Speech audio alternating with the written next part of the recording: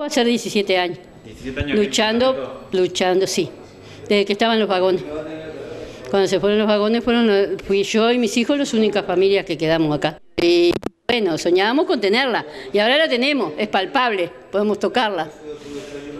Y quizá ah, pues yo la disfruto muchos años, ¿no? Y me alegro más por mis hijos, porque también mi hija tiene 23 años, el otro 26, ya tiene su casita, y mi otra hija la va a tener. Y a todo esto quiero agradecerle a alguien en especial, que fueron los que lucharon más, a Mario y a Lorena, como vecina, como mamá, como suegra.